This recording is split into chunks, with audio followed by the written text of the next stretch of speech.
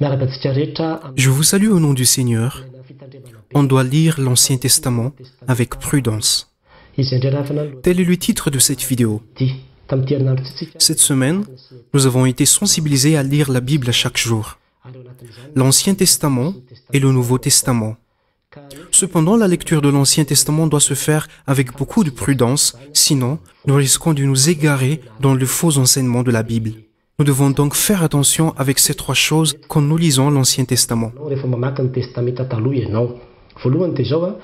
Premièrement, méfiez-vous de penser que Dieu est cruel ou méchant dans l'Ancien Testament. Une fois, quelqu'un avec qui j'ai discuté m'a dit que l'Ancien Testament était très violent. Je comprends vraiment pourquoi il a dit ça. L'histoire de l'Ancien Testament nous donne l'impression que Dieu n'a épargné personne lors du déluge du temps de Noé. Puis, du temps de Sodome et Gomorre, le feu est descendu du ciel et les a tous dévorés du temps des enfants d'Israël. Il fut un temps où tout le monde a été tué sans aucune pitié, car Dieu a tué dix millions de la nation d'Israël en une nuit. Saul a été envoyé pour détruire les Amalécites. Personne n'a été épargné, même les nourrissons et les femmes enceintes. Tous les animaux ont été abattus, même David a dépassé Goliath. On peut imaginer des cadavres éparpillés partout. Toutes ces choses sont relatées dans l'Ancien Testament. Même les enfants d'Israël à un moment donné ont été dévorés et tués par milliers par des serpents.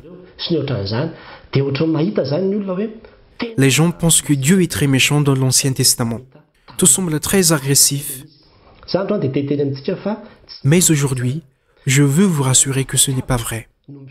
C'est un Dieu d'amour qui apparaît dans l'Ancien Testament quand nous observons bien l'histoire dans la Bible. Pourquoi? L'Ancien Testament raconte l'alliance que Dieu a conclue avec Israël.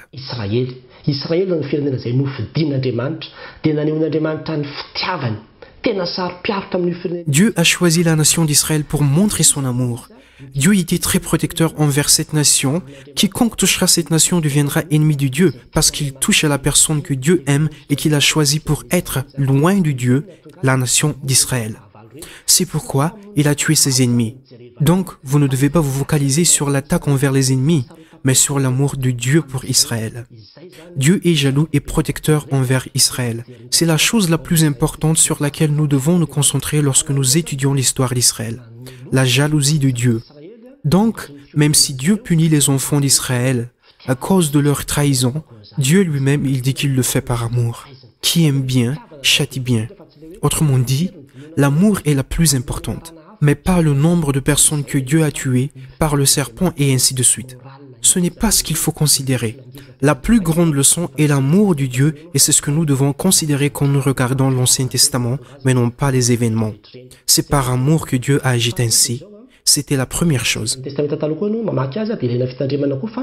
Deuxièmement, quand vous lisez l'Ancien Testament, il faut également noter qu'il existe de nombreuses règles, réglementations et lois qui ne s'appliquent plus de nos jours. Certaines personnes lisent l'Ancien Testament et se demandent pourquoi il y a des règles que nous n'appliquons plus actuellement. De nos jours, les gens choisissent ce qu'ils veulent mettre en œuvre dans leur vie, alors que c'est quelque chose décrit clairement dans l'Ancien Testament. La raison, c'est que il existe trois types de lois et de commandements dans l'Ancien Testament.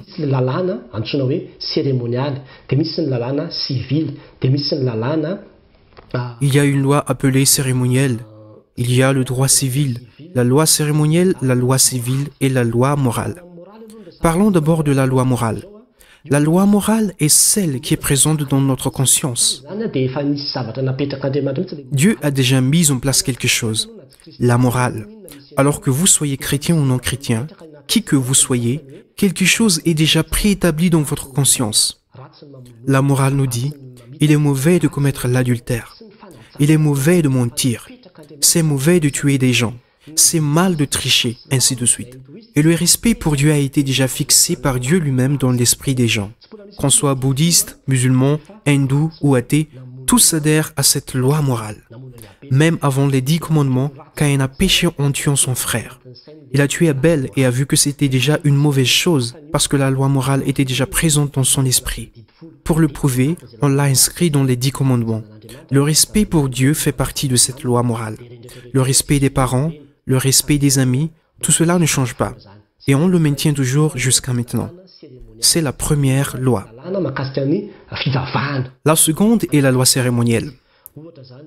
Ceci, à son tour, est la loi de la religion en général. Par exemple, les femmes qui ont leur menstruation sont impures et ne peuvent pas aller à l'église. Et aussi, un nouveau-né, garçon, doit être circoncis après huit jours. Le premier-né en Israël est donné à Dieu. Concernant le fils religieux, par exemple, il y a des lois concernant la robe sacerdotale. Il y a des rituels à suivre quand quelqu'un pêche. Il faut amener un tel animal au temple, faire ceci, faire cela. Ce sont tous des lois cérémonielles qui ont trouvé leur accomplissement en Jésus-Christ. Cela signifie que c'est en Jésus-Christ que tout cela trouve leur finalité. Tout s'est terminé avec l'arrivée de Jésus-Christ. Nous n'observons plus tout cela depuis l'arrivée du Christ. Cette loi n'a plus de raison d'être. Nous n'offrons plus de sacrifices. Les femmes ne sont plus impures lorsqu'elles vont à l'église même pendant leur menstruation. Si vous êtes allé à un enterrement, vous ne devenez pas sale. On n'est plus impur si on mange telle chose. Il n'y a plus tout cela lorsque nous sommes en Christ. L'observation de la loi cérémonielle est terminée. Nous ne sommes plus sous cette loi, car nous sommes soutenus par la grâce du Christ. Les Galates et les Romains nomment cette ancienne loi tuteur, c'est-à-dire la loi de Moïse. Mais lorsque notre Maître est arrivé, en la personne de Jésus-Christ, c'est la grâce de Dieu qui nous maintient. Il faut le savoir. Alors ne soyez pas surpris de ne plus voir autant de lois cérémonielles concernant les cultes et autres, car elles ne sont plus d'actualité. Assurez-vous que ce sont les ombres des choses à venir, mais le corps est en Christ. Cela comprend les prémices, le sabbat et les fêtes juives. L'accomplissement du tout est en Christ. Cela s'est terminé avec Christ il n'existe plus dans le Nouveau Testament. La troisième chose est le droit civil. Le droit civil est la loi qui régit Israël. En tant que citoyen Israël, les Juifs ont une loi qu'on peut même considérer comme un système. Et c'est mentionné dans la Bible. Il existe même un moyen d'imiter la pratique lorsque cela se produit. Par exemple, pour la construction d'une maison, la façon de s'habiller, ce qu'il faut faire quand quelqu'un est surpris en train de voler, ce qu'il faut faire quand quelqu'un fait ceci ou cela. Les lois civiques contiennent beaucoup de règles faites pour gouverner les juifs en tant que nation, qui les régissent en tant que nation. Et comme nous ne sommes pas juifs, nous ne sommes pas soumis à ces lois. Il y en a tellement. Voici un exemple que j'ai mentionné dans une vidéo sur les femmes et les pantalons. Disons que les vêtements juifs devraient être ornés de franges avec de petits anneaux bleus pour les identifier. Nous ne sommes pas obligés de les porter actuellement parce que c'est seulement une loi pour les juifs. Pour eux, il y a même des règles à suivre pour la construction d'une maison. Il y a tellement de choses, mais ce n'est pas une loi pour nous, seulement pour les Juifs. Nous devons également le savoir lorsque nous lisons l'Ancien Testament. En effet, nous ne devons pas reproduire bêtement tout ce qui est écrit. On ne va pas non plus lors de la construction d'une maison mettre toutes ces choses sur le toit parce que c'est une coutume juive de mettre quelque chose sur le toit. Nous n'allons pas suivre cette coutume. Nous devons seulement retenir le principe de ce qu'on doit retenir. C'est ce principe qui nous aide à comprendre la loi, qui nous gouverne également en tant que citoyens. En tant que Malégas, nous avons notre propre loi. Et c'est cette loi qui nous gouverne en tant que Malégas. C'était la deuxième chose. La troisième est la pratique, l'interprétation. Il faut faire très attention lorsque nous lisons l'Ancien Testament. Parce que dans l'Ancien Testament, le travail garantit le salut. Mais dans le Nouveau Testament, c'est une question de grâce. Il n'y avait pas encore Christ dans l'Ancien Testament, c'est-à-dire que Christ n'est pas présent dans toutes choses. Dans le Nouveau Testament, on trouve le Christ. Tout doit être en Christ. Par exemple, David avait maudit ses ennemis. Si vous appliquez ceci de nos jours et que vous maudissez vos ennemis, vous avez vraiment tort. On doit lire ensemble le Nouveau Testament et l'Ancien Testament lors de la pratique. Je répète, l'Ancien Testament doit être lu avec le Nouveau Testament en pratique. Autrement dit, vous ramenez tout à Jésus-Christ. Que dit le Nouveau Testament à ce sujet? Vous pouvez vraiment expliquer donc que David a maudit ses ennemis, mais en Christ, nous disons, aimez vos ennemis. Donc nous voyons bien que ce contexte a été corrigé. C'est-à-dire, vous ne pouvez pas et vous ne devriez pas faire comme David mais vous devez suivre le nouveau concept en Christ. Par exemple, David a perdu son fils à cause de ses péchés. Dieu l'a vraiment puni. Il a été puni pour les péchés qu'il avait commis.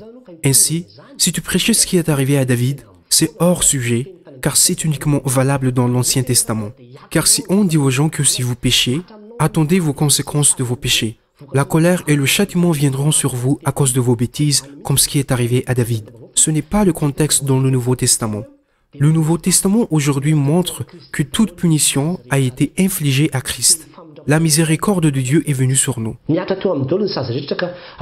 Toute punition a été infligée au Christ.